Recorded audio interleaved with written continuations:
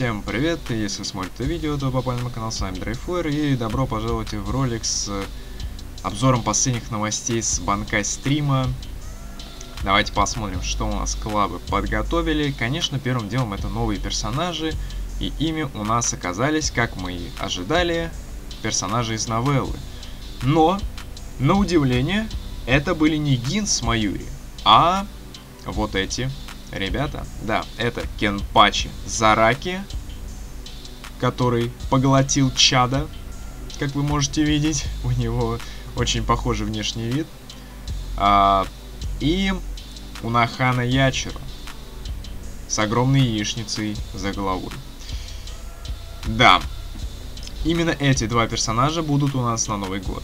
И вновь у нас Унахана с Кенпачи на Новый год. А, в этот раз без мелкой Ячеру. Ну, как видите, Кенпачи очень похож внешне также на а, ТКВ Ячеру. Только три в одном. И вот это новые персонажи, да. Кенпачи Зараки и Унахана Ячеру. Вот. Геймплей статов нам пока на стриме не завезли.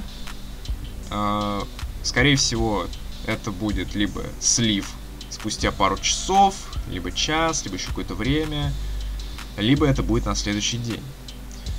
Теперь пройдемся по новостям, которые уже нам известны. А, соответственно, уже вышли новогодний Синкаймон, витрина с 12 персонажами и 26, а, впрочем, придатки, а также бесплатная витрина.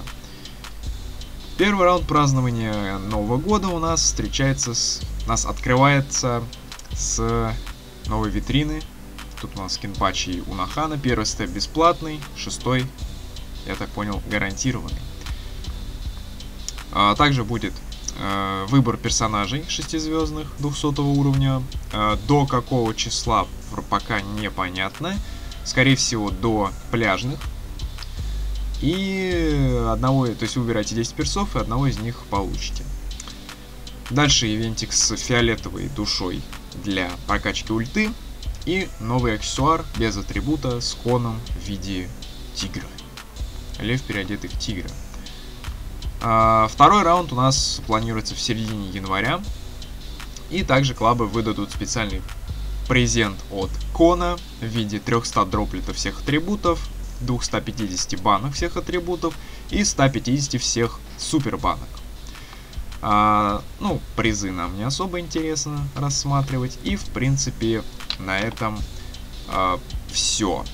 А, ну, еще хочется заметить, что была новость по поводу нового скилла с уроном по мобам, на которых наложен, наложено осушение. Да, а, дебаф осушения. Он, э, ну, вы знаете прекрасно, что он делает.